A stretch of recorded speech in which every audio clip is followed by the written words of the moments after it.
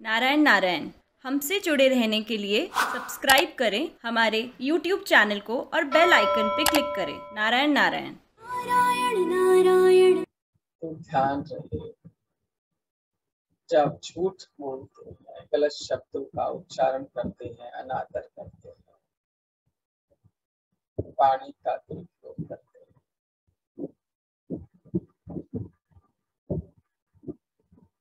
आती हुई सुख शांति सेहत समृद्धि सफलता को रोक देते हैं। रोक देते हैं।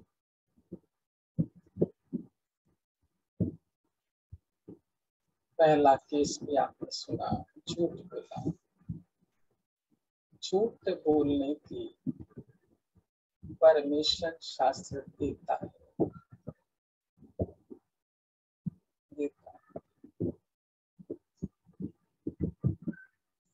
लेकिन खुद के आराम के लिए, खुद की सुख सुविधाओं के लिए, खुद को बचाने के लिए आपको झूठ का प्रयोग नहीं करना।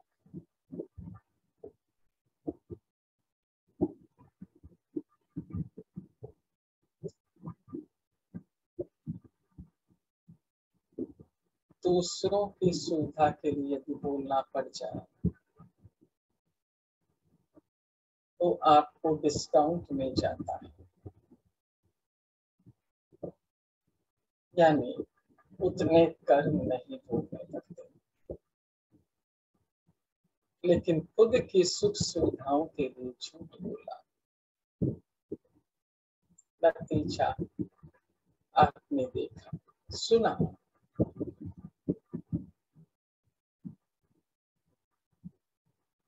प्रभाव जीवन में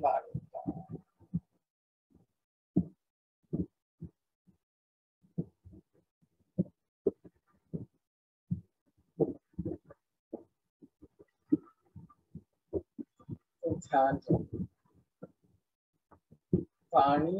चौरासी लाख में से एकमात्र मनुष्य एक प्राप्त है। वरदान नॉट वाणी वरदान।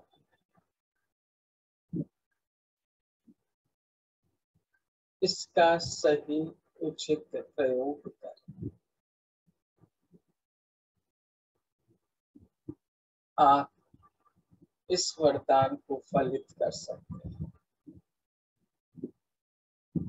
और इसका ठीक विपरीत उल्टा भी है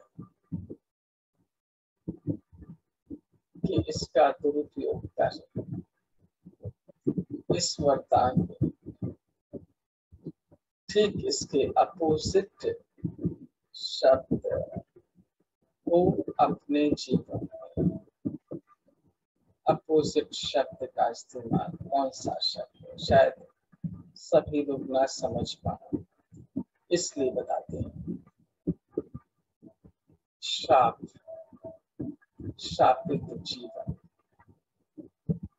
जो उन सारी चीज़ों से भरा हो रहेगा जो चीज़ें हमें जीवन में कदापि नहीं चाहिए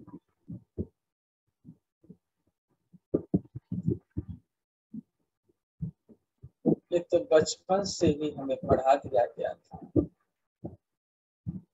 लेकिन मर्म समझ में नहीं आया। इस शब्द बराबर धन नहीं जो कोई जाने वो है। हीरा दामों शब्द मोल ना तो शब्दों की कीमत आके ही नहीं जा सकती। किसके भीतर कितनी ऊर्जा है उस ऊर्जा को आप शब्दों में बोल नहीं सकते, तोल नहीं सकते।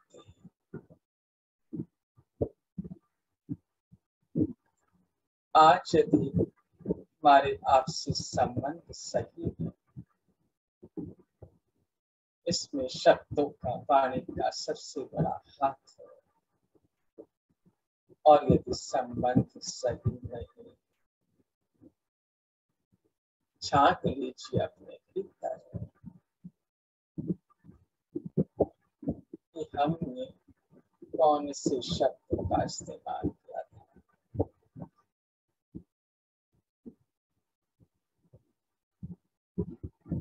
हर कन्फेशन हर कन्फेशन हर कन्फेशन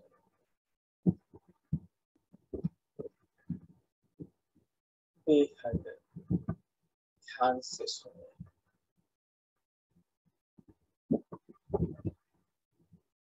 उसके भीतर आप समझ जाएँगे कि आपके द्वारा उच्चारित शब्दों ने इन प्रतिकूलताओं को आकर्षित किया तो जब हमारे ही शब्दों में प्रतिकूलता को आकर्षित किया है तो क्यों ना हम शब्दों को बदलकर अनुकूलता को आकर्षित अनुकूलता को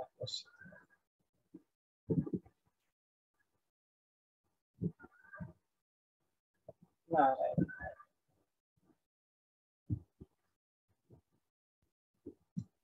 जब सही उचित शब्द ना मिले मौन हो जाए मौन हो जाए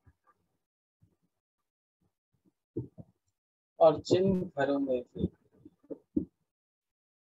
महाभारत वातावरण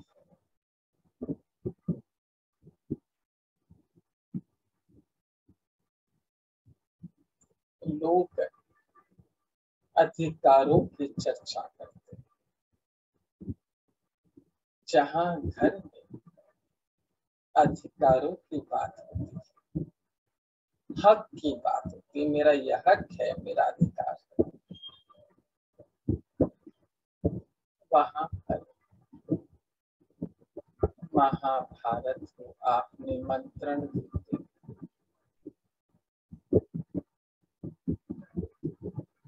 यदि आप घर में रामायण जैसा वातावरण चाहते हैं तो अधिकारों पर और हक पर फोकस ना करें। फोकस करें इस बात पर कि मेरी क्या ज़िम्मेदारी है? मेरे क्या कर्तव्य और जब आप अपनी जिम्मेदारियाँ, अपने कर्तव्य, पूरी शिद्दत, ईमानदारी, वफादारी के साथ निभाते हैं, सहज ही आप समृद्धि को अपने जीवन में आकर्षित कर। आकर्षित कर। और अधिकारों और हक की जब बात करते हैं आप। हम बड़े हैं, हमारा हक है, हमारा अधिकार है। या हम बेटे हैं तो मेरा अधिकार है तो ध्यान रखें समृद्धि आपसे दूर होती चली जाती है। दूर होती चली जाती इसलिए सीधी सरल सी बात है, देखिए, आपको आसान होगा समझने आप जब अधिकार और हक की बात करते हैं।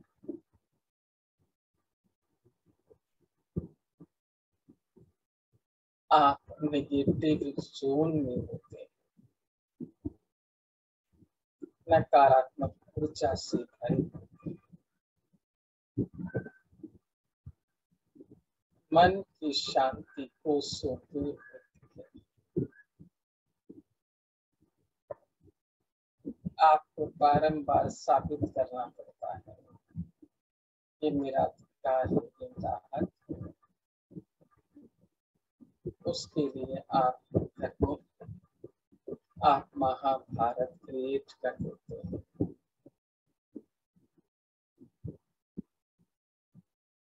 और यदि आप अपने कर्तव्य, अपनी जिम्मेदारियों पर फोकस हैं जो भी फोकस किया, आपके मन की शांति सबसे पहले आपको मिलती है जो इंस्टेंट इंस्टेंट इंस्टेंट मन की शांति। और जो जो ईमानदारी के साथ, वफादारी के साथ आप कर्तव्य, जिम्मेदारियाँ निभाते जाते हैं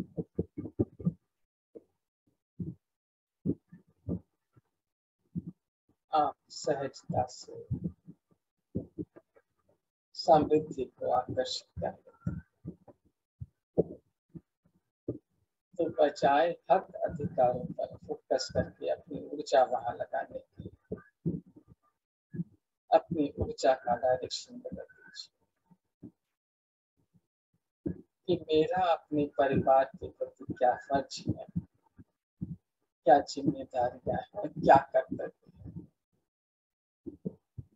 और पूरी ईमानदारी वफादारी से निभाएँगे आपकी भाग्य की रेखाएँ बदल जाए बदल जाए बदल जाए एक माला के माध्यम से जल अर्पण करना हाथों को संजीवनी से लबालब